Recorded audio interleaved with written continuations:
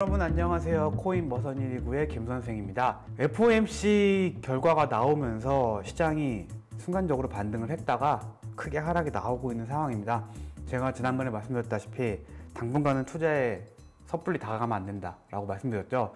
그만큼 여러분들이 FOMC가 끝나고 아 이제 악재 소멸이다 이렇게 환호하고 있는 순간 그건 착각이었습니다. 왜냐하면은 정말 양적 긴축도 바로 시작하였고 그리고 금리 인상도 앞으로 3개월간 FOMC가 앞으로 열리는 게 6월, 7월, 9월 금리를 0.5%씩 세 번을 더 올릴 예정입니다. 그럼 미국의 지금 현행 금리가 1%가 되었거든요. 그러면은 0.5%씩 세번더 올린다는 건 2.5%를 간다는 거예요. 어마어마하지 않습니까? 이런 것들을 종합하여 본다면은 경제가 안 좋아질 수밖에 없는 이유가 지금 긴축의 시대에 있는 이유가 그동안 너무 돈이 풀렸고 모든 것들에 거품이 꼈기 때문에 그 거품을 인위적으로 싹 한번 걷어가는 과정이라고 보면 돼요. 그나마 다행인 거는 연준 FOMC에서는 금리를 일단 올릴 대로 올려보고 거기서 안정이 된다면 다시 내릴 용의도 있다. 이렇게 말을 했기 때문에 강제적으로 너무 큰 뭐 5% 6%까지 올릴 가능성이 좀 줄어들고 있긴 하지만 금리를 더 올릴 수 있다는 그런 가정하고 있기 때문에 좀 걱정이 되긴 합니다. 그리고 금리가 올라가게 되고 정말 물가 상승률이 올라가게 되면은 이제 많은 급여 소득자들이 노조를 결성해서 임금 인상을 요구하겠죠. 직원들의 임금을 올려주게 되면은 그만큼 영업이익률이 줄어들게 됩니다. 모든 것이 다 연결되어 있습니다. 어떻게 보면은 시장이 점점 어려워질 수밖에 없는 이유고 나스닥도 계속 하락하는 이유가 이런 인플레이션이라면은 분명히 이제 직원들의 월급을 올려줘야 되는데 그렇게 되면은 인건비가 차지하는 비중이 굉장히 크단 말이죠. 특히 미국 같은 경우에는 인건비가 비싸기 때문에 인건비를 올려주게 되면은 기업들의 영업이익이 점점 쪼그라들죠. 그리고 여러분들 임금 같은 경우에는요, 한 번 올리면 다시 내리기가 힘듭니다. 그렇기 때문에 많은 나스닥의 빅테크 기업들, 그리고 대부분의 기업들, 이런 기업들의 영업이익률이 점점 안 좋아질 수밖에 없다.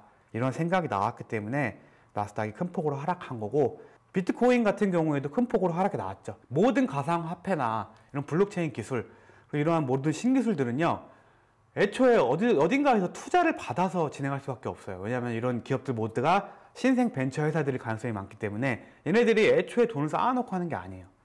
정말 자기네들이 돈을 투자받고 코인을 발행하고 유동화 시켜가지고 그것들을 통해서 수익을 발생하고 그 돈을 통해서 이제 블록체인 기술이라든가 자신들이 원하는 목표를 발전시키는 건데 여러분들 나스닥이 떨어지고 이렇게 투자 심리가 쪼그라들게 되면은 그 누가 비트코인 가상화폐에 투자를 하겠습니까? 안 합니다. 허리띠를 졸라매기 바쁘지 비트코인에 투자를 안 합니다. 여러분 가상화폐에 투자하는 시점은요 정말 주머니에 돈이 남았을 때예요. 그리고 가상화폐 같은 경우에는 정말 가볍기 때문에 비트코인 시총이 지금 원래 한 천조에서 지금 한 9천억, 8천억 수준 왔다 갔다 하고 있습니다. 그만큼 작아요. 그렇기 때문에 변동성이 커지고 있는 거고 비트코인에 투자할 돈들이 지금은 다 주머니에 들어가 있거나 다른 데 가 있거나 그런 식으로 움직이고 있다는 거죠. 그러면은 중요한 거는 제가 코인 전문가인데 코인 전문가로서 코인을 투자하지 마라. 코인 지금 할 때 아니다. 이렇게 얘기하기 굉장히 용기가 필요한데요. 제가 말씀드리고 싶은 거는 지금 코인을 투자하기에는 굉장히 위험한 시기고 좋은 시기가 아닙니다. 보유하신 분들은 그냥 딱 눈 감고 계좌 문 닫고 안 보시길 추천드리고요. 9월 이후에 열어보시기 바랍니다. 그때 와도 자기가 매수한 매수가 본전 부근까지 와 있을 확률은 매우 희박합니다. 그래도 다만 다행인 것은요. 다른 자산들은 한번 떨어지면요. 다시 제자리까지 회복하는데 몇 년이 걸릴지도 몰라요. 근데 가상화폐는 그나마 다행인 게 그나마 가볍기 때문에 뭔가 장이 활성화된다면 금방 올라갈 수 있는 탄력성이 있습니다. 이게 가상화폐의 장점이자 단점이죠. 장점은 많이 빠져도 쉽게 올라갈 수 있다는 거. 단점은 쉽게 빠진다는 겁니다. 그만큼 변동성이 크다는 겁니다. 그래서 지금 가상화폐나 비트코인에 투자하기는 매우 적정한 시점은 아니라고 보여지고 있습니다. 그렇다면은 우리가 정말 급여소득, 근로소득 만으로는 풍족하게 살 수가 없어요. 그래서 나온 개념이 재테크고 지금 현재 MZ, MZ 세대들, MZ 세대들의 기본 생각은요. 급여소득, 근로소득으로 시드를 만들어서 투자를 해야지 이런 생각을 항상 갖고 있습니다.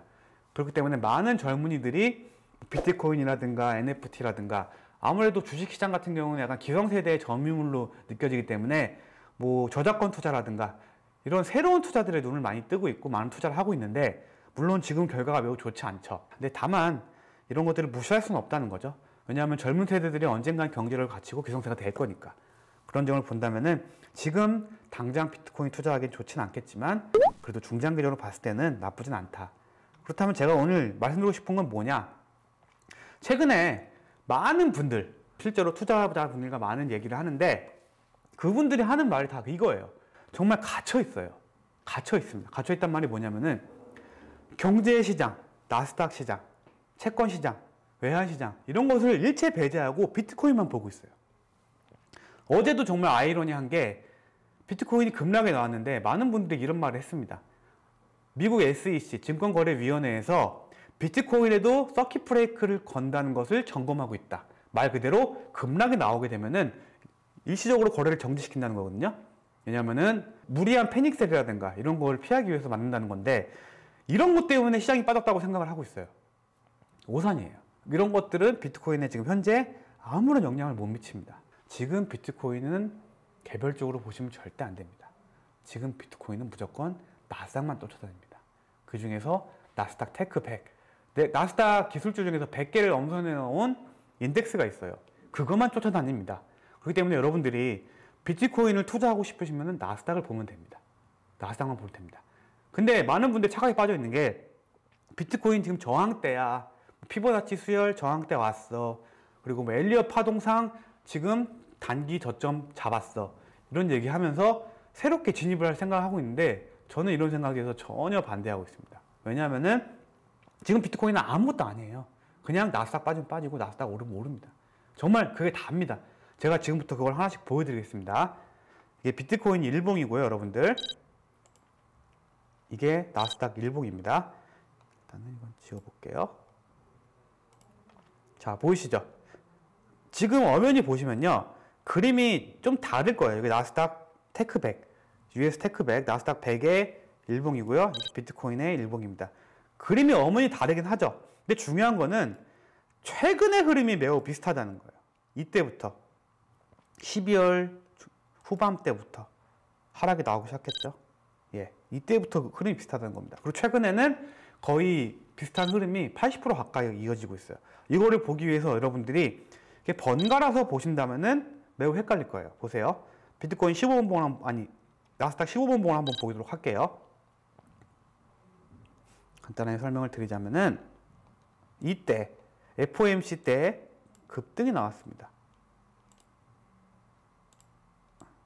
그리고 비트코인도 거기에 맞춰서 크게 상승을 했고요. 그리고 어제 시장에서 급락이 나왔죠. 그리고 지금은 바닥 잡고 움직인 중이죠. 자, 요 그림 기억해 주세요. 비트코인을 보도록 하겠습니다. 똑같죠? 똑같아요. 다만 다른 점이 있다면은 비트코인은 조금 일찍 올랐고 하락은 조금 더 크게 나왔던 겁니다. 똑같아요, 결국은. 여러분들, 그렇다면 여러분들 비트코인 말고 다른 코인을 보여드릴게요. 여러분들 이게 중요한 게 뭐냐면요. 물리고 물리는 관계가 나온다는 거예요. 이더리움 보도록 할게요. 똑같습니다. 리플? 똑같습니다. 하이브? 비슷하죠?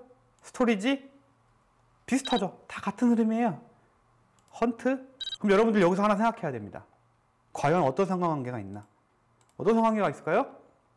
나스닥을 비트코인이 쫓아가고 비트코인이 알트코인을 아니 알트코인들이 비트코인을 쫓아갑니다. MBA예요, MBA. 나스닥을 비트코인 쫓아가고 비트코인을 알트코인들이 쫓아갑니다. 그러면 나스닥은 어떻게 움직일까요? 이거에 대한 궁금증이 나올 거예요. 아, 그럼 나스닥이 움직이는 걸 알면은 비트코인에 투자하면 하기가 굉장히 용이하겠네. 근데 여러분 이거는 정말 어려운 겁니다. 나스닥이 오를지 내릴지는 아무도 알 수가 없어요. 이게 바로 선물 투자, 방향성에 투자하는 굉장히 어려운 지수 투자죠. 그렇기 때문에 나스닥을 알게 되면 즉 비트코인에서 돈을 벌 수가 있어요. 그럼 여러분이 이런 생각할 거예요. 아 그럼 난 나스닥에 투자하겠 차라리 나스닥에 투자하겠다. 왜냐하면 나스닥 미니 선물이라든가 뭐 ETF라든가 이런 걸 투자할 수 있죠. 근데 나스닥 같은 경우에는 일단 세금도 많고요. 그리고 국내 투자자들이 하기에는 약간 변동성도 굉장히 크고 그리고 진짜 선물로 했을 때는 계약상, 계약당 자금이 굉장히 많이 필요합니다. 비트코인 같은 경우에는 10만 원만 있어도 할 수 있어요. 그렇기 때문에 제가 비트코인을 선호한 거고 레버리지 설정도 자유롭습니다. 그렇다면 제가 말씀드리고 싶은 거는 정말 중요한 것들이죠. 제가 한번 정리를 해보도록 할게요. 간단하게 정리를 해보면은 나스닥, 비트코인, 알트코인 이렇게 물고 물리는 관계가 나오고 있습니다. 그렇기 때문에 지금 여러분들 기술적 분석이라든가 모든 분석을 비트코인을 분석하는 행위는 하지 말아야 돼요.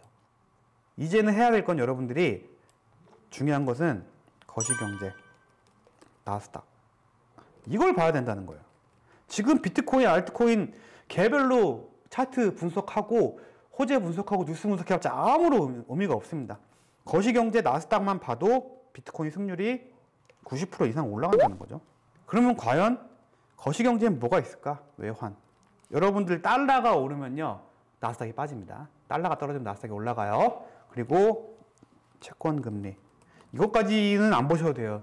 여러분들 지금 채권, 채권 금리가 올라가면서 지금 시장이 안 좋아지고 있는데 이것까지 안 보셔도 됩니다. 외환만 보면 됩니다. 달러가 떨어지면은 굉장히 좋다고 보면 되고 달러가 올라가면 안 좋다. 이렇게 보시면 될 것 같고요. 유가. 유가도 반드시 봐야 됩니다. 왜냐하면 유가 시장도 워낙 크기 때문에 유가가 올라가면은 시장에 좋지 않은 영향, 유가가 내려가면은 좋은 영향. 그럼 여러분들이 그냥 생각할 수 있죠. 외환 달러가 오르고 유가가 오르고 하는 상황에서 여러분들이 롱을 잡았다. 상승에 베팅했다. 잘못된 거예요. 그러면은 달러가 오르고 유가가 오르는데 나스닥이 올라갈 확률은 매우 낮습니다. 그렇다면은 달러가 내려가고 유가가 내려가는 상황이야. 그럼 나스닥이 올라갈 가능성이 커요. 그렇게 되면은 여러분들이 선물이나 현물로 매수가 가능하게 하겠지만 이게 매일매일 다르단 말이죠. 매일매일. 매일매일 진학폭이 플러스 마이너스 3% 합쳐서 4, 5% 정도 됩니다. 아래 위로. 그렇기 때문에 솔직히 현물로 우리가 천만 원을 투자해서 3% 크지만 굉장히 좀 위험하잖아요. 3% 복귀해서 뭔가 투자하기가 물릴 수도 있고.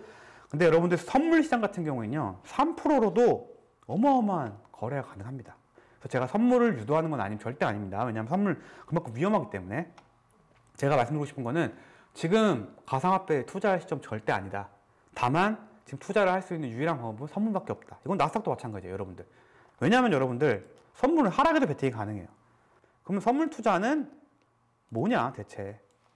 이거는 여러분들이 그 코인이나 기업의 가치에 투자하는 게 아니에요. 성장성에 투자하는 게 아니에요. 변동성에 투자하는 겁니다. 막말로 난 이 기업이 망하던 잘 되던 정말 부자가 되든 말든 상관없어. 다만 이 기업의 주가, 가격, 코인의 가격이 위아래로 움직이는 거에만 관심이 있는 거예요. 상승한다면 롱. 롱은 말 그대로 상승에 베팅하는 거죠. 하락한다면 숏. 많은 사람들이 지금은 개별 종목을 사지 않고 이런 지수에 투자, 상승하냐 내려가냐 이거에만 투자를 하고 있다는 거죠. 한마디로 지금 현재 시장은 투기장이다. 투기장. 정말 위아래로 가나 OX 퀴즈예요. 근데 이런 것이 쉽지 않다는 거죠. 그래서 여러분들이 만약에 선물 투자를 한다면은 제가 이거에 대해서 좀 확실히 좀 도움을 드릴 겁니다. 여러분들 제가 아까 말씀드렸죠? 비트코인은 나스닥 따라갈 수밖에 없다. 그렇다면은 우리가 나스닥이 어떻게 가는지 매일매일 차트에 확인해야 귀찮아. 여러분들이 여기서 할 수 있는 게 있습니다. 자, 보세요. 여기서 종목 비교 추가를 누르시고요. 여기서 US Tech 100 CFD 요거를 눌러주세요. 그러면 어떻게 됐습니까? 이런 노란 선이 나왔죠. 이 노란 선이 뭘까요? 현재 나스닥의 움직임이에요. 현재 나스닥의 움직임이 바로 이 노란 선입니다. 그리고 이 차트가 비트코인입니다. 똑같죠? 완전 똑같죠, 여러분들. 약간 차이 날 때가 있어요. 근데 결국은 대세적인 흐름은 똑같습니다. 똑같죠. 나스닥 올라가면은 비트가 올라가고 나스닥 빠지면은 비트가 내려가고. 그럼 여기서 느낄 수 있는 게 하나가 뭐냐면은 나스닥이 오를 때는 나스닥보다 비트코인이 더 올라요. 그리고 나스닥이 하락이 나오면은 비트코인은 생각보다 많이 빠지는 않습니다. 이런 거는 좀 감안하시면 될 것 같고 보세요. 여러분들 어떻게 매매 접근하냐면은 요걸로 여러분들 일봉 투자를 하기에는 굉장히 무리가 있습니다. 그렇기 때문에 여러분들이 투자를 하기 위해서는 선물은 보러 단타를 많이 치잖아요. 이렇게 한 15분 정도 분봉을 보시면 게 좋을 것 같고 자 어떤 상황을 참고해 봐야 되냐 지금부터 보여드릴게요. 자 나스닥이 이때 이때 나스닥이 별로 안 빠졌죠. 이때 나스닥 상황이 별로 안 빠졌습니다. 비트코인 혼자 빠졌습니다. 그렇죠? 이런 경우에는 롱을 잡아볼 만 하다는 거예요. 왜냐하면 결국은 따라가니까.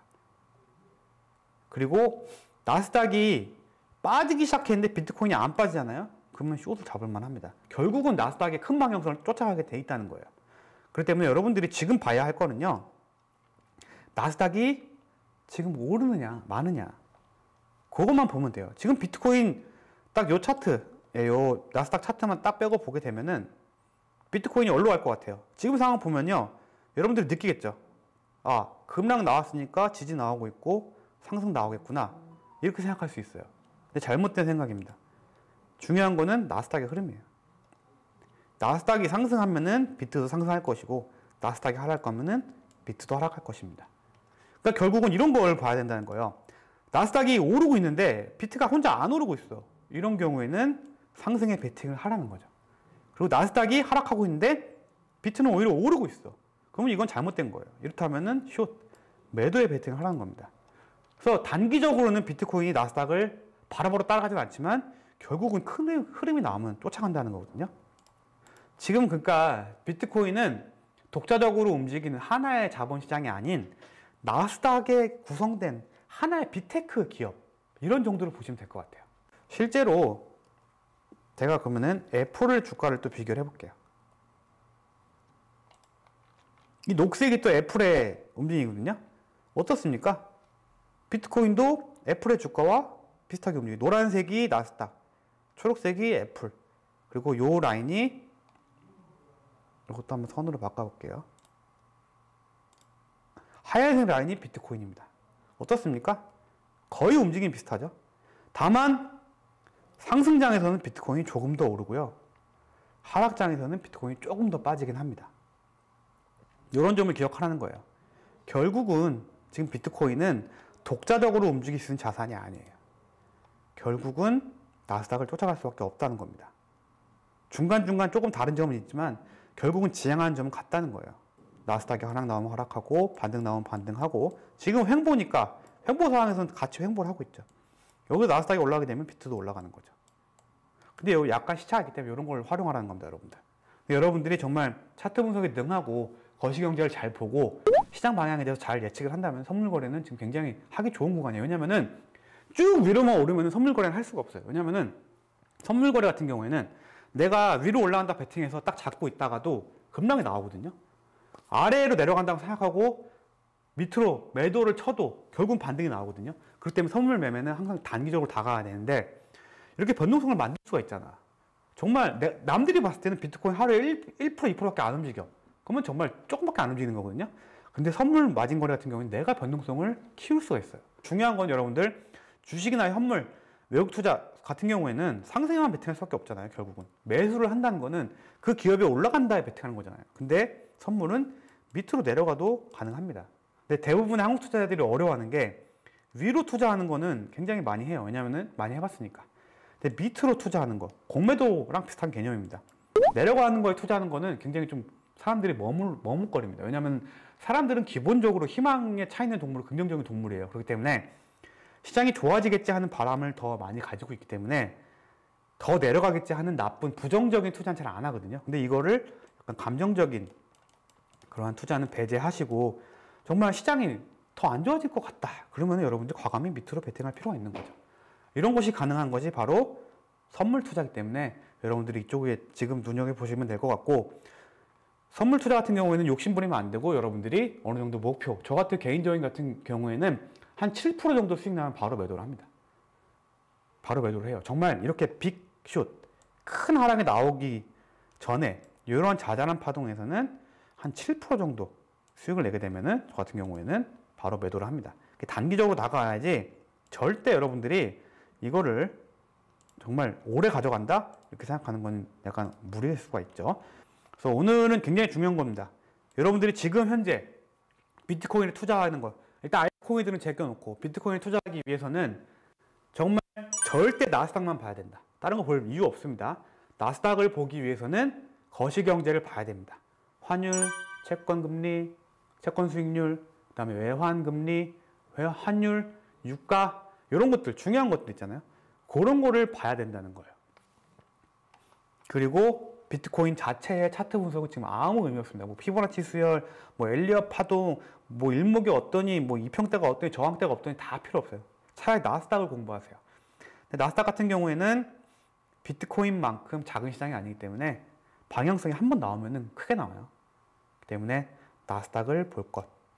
그리고 지금 비트코인을 투자하고 뭔가 재테크를 하고 싶다. 주식 하지 마세요. 할 거면은 선물을 하세요. 해외 선물 같은 경우에는 증거금도 많이 필요하고 그리고 세금도 많이 내고 뭔가 더 리스크가 큽니다.